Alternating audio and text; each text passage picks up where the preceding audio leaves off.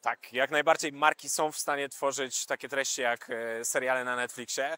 Ba, marki mogą tworzyć też po prostu seriale fabularne i na przykład Wedel stworzył serial, który się nazywa Receptura, ale nie muszą to być wcale produkcje fabularne, bo to mogą być dokumenty, to mogą być nawet zwykłe serie wideo i e, no, widać bardzo dużą popularność w ogóle e, wywiadów w podcastach od choćby. I e, to jest e, wystarczający i też świetny sposób na to, żeby tworzyć właśnie taki content seryjny.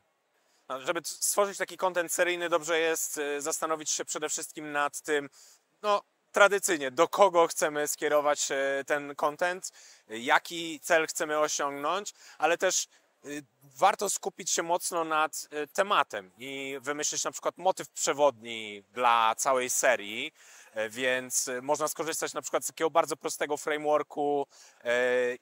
Chcę stworzyć serię o X, jest ona ciekawa, jest ona ciekawa, bo Y. To jest framework, który wymyślił Alex Bloomberg, który jest twórcą podcastów dla Spotify'a. I wydaje się bardzo banalny, ale chodzi o to, żeby ten Y, czyli dlaczego dana seria jest ciekawa, był mocno przemyślany, żeby nie skupiać się na pierwszym rozwiązaniu. I ja na przykład w swoim przemówieniu mówiłem o tym, że jeżeli chciałbym stworzyć serię o prelegentach InfoShare'a, to mógłbym powiedzieć, że ta seria jest ciekawa, bo ci prelegenci są ciekawi, bo y, mają super tematy, bo są ekspertami w swoich dziedzinach, ale wydaje mi się, że to niewystarczające, że niektórych to zainteresuje, jasne, ale brak tego motywu przewodniego będzie jednak, e, no w tym wypadku brak, bo nie ma, nie ma tutaj jakiegoś konkretu, e, będzie niewystarczający.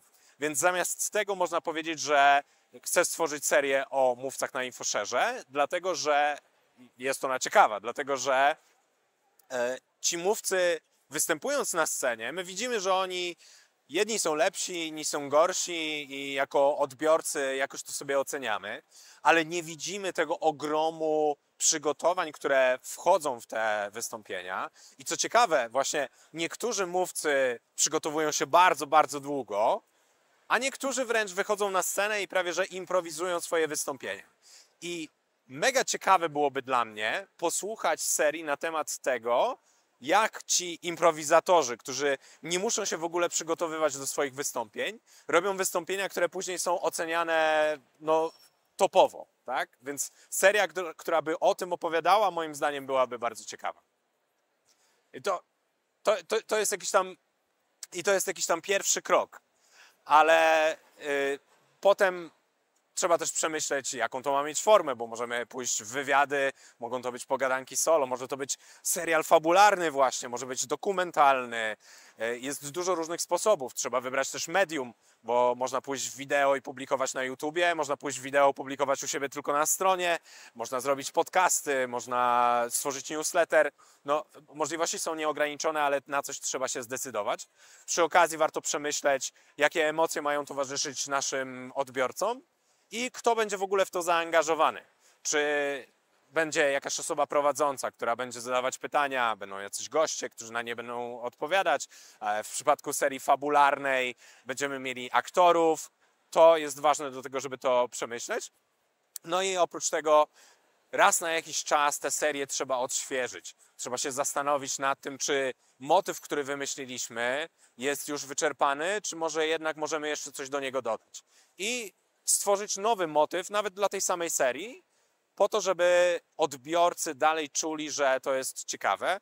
I właśnie seriale na Netflixie są właśnie tak tworzone, że każdy sezon serialu ma jakiś swój motyw przewodni, ma jakiegoś głównego przeciwnika. Za każdym razem się to zmienia i przez to jest to interesujące.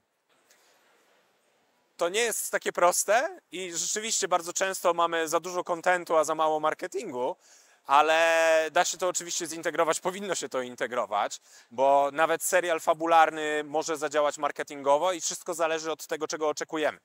E, wiadomo, że jeżeli chcemy, żeby coś bezpośrednio sprzedawało, no to będzie to trudniejsze, e, ale jeżeli chodzi nam o brand awareness na przykład, no to spoko, to, to wtedy możemy iść e, dużo bardziej szeroko, nie musimy aż tak bardzo przejmować się tym konkretnym komunikatem sprzedażowym.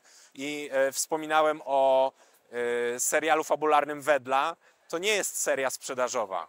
ale to jest jeden z punktów styku dla odbiorców. Czyli oni oglądając ten serial i słysząc markę Wedel cały czas w trakcie e, oglądania serialu, gdzieś tam podświadomie będzie to na nich działać i jak pójdą do sklepu, no to e, wybiorą czekoladę We- Wedla prędzej niż jakąś inną. Nie? Także e, główna e, rzecz, nad którą trzeba się zastanowić, to jest właśnie to, co my w ogóle chcemy osiągnąć tą daną serią.